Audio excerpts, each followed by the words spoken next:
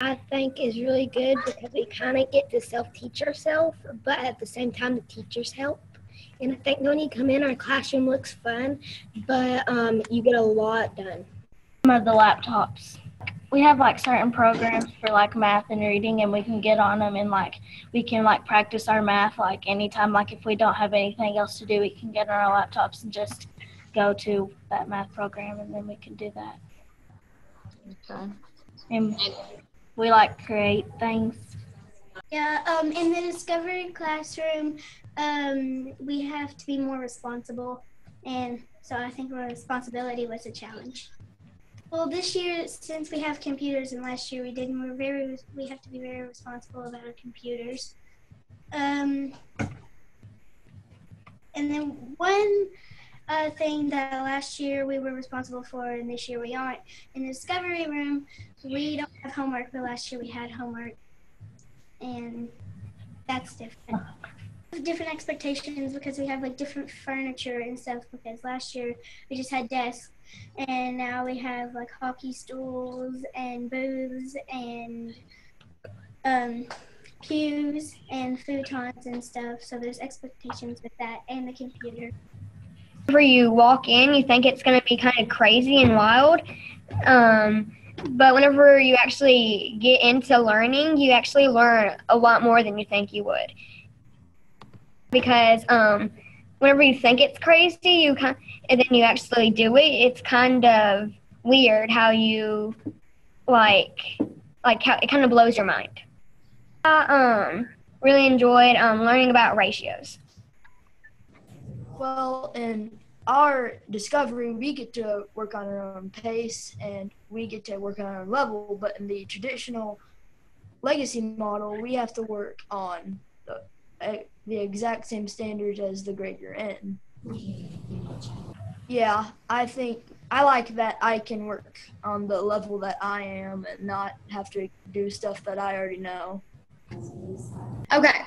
My favorite part of um, the Discovery Classroom would have to be that we can use um, computers because I thought that that was really cool.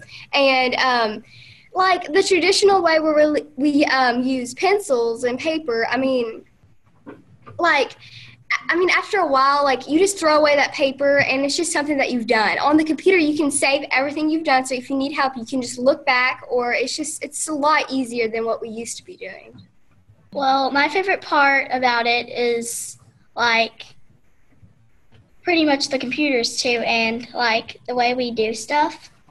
But we usually we mostly use computers because like we can all the teachers can post things and we just have to go to that website and it's a lot easier than just having to do it on a piece of paper because you can type it. We both really think the computers are the best part. Whenever I used to do tests and stuff, I always used to get stressed because, um, and now it's like I can just be relaxed and I don't really, I can just be really relaxed. I think it has a difference because, but like our voice level, because like whenever you see that, you don't really think classroom, you more think hangout, like you said. So I kind of think it more, and with all the seating areas, you can kind of choose who you want to sit by. So I think that kind of influences talking and stuff like that. I think it teaches us more maturity because you have to pick where you sit and make sure it's a good choice and that it's going to be a spot that you can get your work done and not be talking the whole time. I like that we get to pick what we want to learn at a certain time that we want to learn it. Um, I have on front row. I have some articles that I want to pick, and I uh, picked some Walt Disney ones, and I got to pick some games, games, and all sorts of art, something about the article or in the article. Well, since we have computers, we have a lot more ways to learn, and so I like having um, or being able to um, choose how I. Well, since we're in Discovery, there's a lot of people in our class, and last year there weren't a whole lot of people in our class. Yeah. So we're kind of adjusting to that too. Um, something I think that had to be really adjustable was definitely how big Discovery is because it's like third, fourth, fifth, everybody's in it. And I really think it's just it's hard to get adjusted to so many people. And really in Discovery, most people aren't even doing really what you're doing. So you kind of have to get everybody caught up with all that.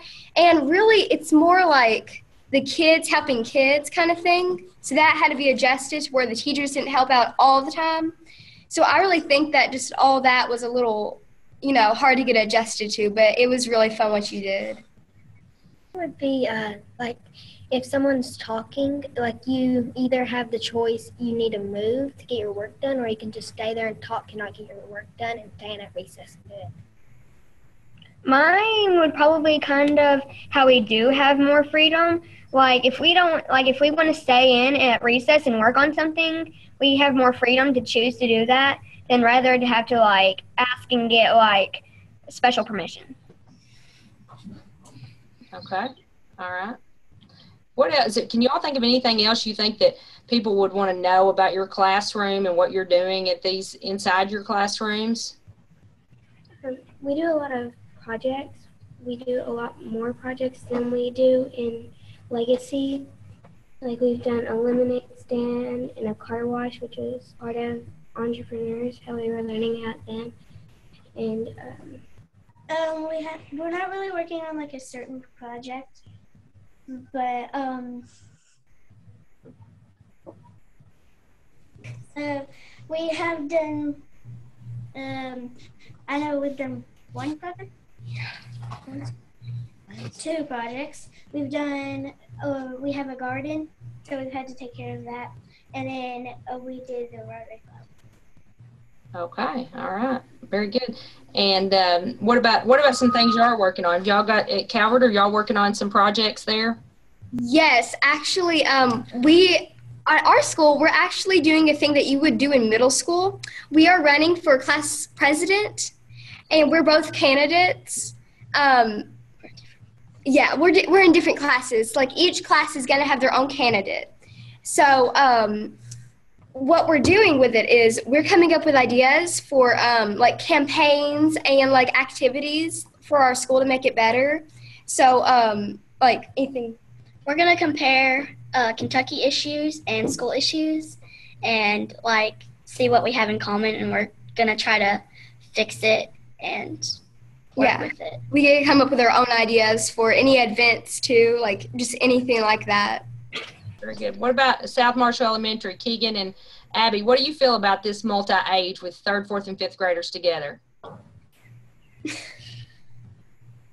Um, I I like it because um, usually like uh, you, if you and a friend are on the same standard, and you can work together on something, and then like if there's someone who needs help who's on a lower standard, you can help them with that, and usually you can't do that. So if you and a friend, even if you're not in the same grade, but you're on the same standard, you can work together, Yeah, if we're in the same group. same grade. And it doesn't matter what grade you're in, right? No. What about Jonathan? What have y'all done? Y'all have got, you've got a third grader and what, two fourth graders, or a fourth grader and two fifth graders in this group right here? Is that right? Two Yeah. fourth graders. Two One fourth fifth graders. Okay. So what do y'all think about being all bunched together this year? I think it's more of a better experience because um, it's kind. It's like if you have a friend and something, you can be with them, and also you can be on. It really don't matter because you can be on what you like. You can be on what you need to be on.